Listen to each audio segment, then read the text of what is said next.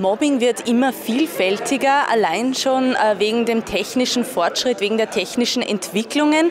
Ähm, wie sieht es mit Cybermobbing aus? Was ist das genau? Ja, Cybermobbing ist eigentlich äh, nichts anderes als Mobbing, außer dass es noch zusätzlich mit technischen Hilfsmitteln vermittelt durchgeführt wird. Das heißt, die Täter benutzen dann Mobiltelefone, Smartphones vor allem, aber auch das Internet am Computer dazu, dass sie äh, negative Verhaltensweisen übermitteln. Das heißt, es treffen sozusagen die drei Definitionskriterien von Normalmobbing auch zu. Das heißt, es besteht ein Machtungleichgewicht zwischen Täter und Opfer. Es passiert immer wieder, es wird wiederholt teilgenommen und auch ähm, es ist eine, eine bewusste Entscheidung dafür. Das heißt, die Intention ist da. Und dann natürlich die neuen Medien als Durchführungsorgane. Welchen Anteil hat denn Cybermobbing an der Gesamtanzahl von Mobbingfällen?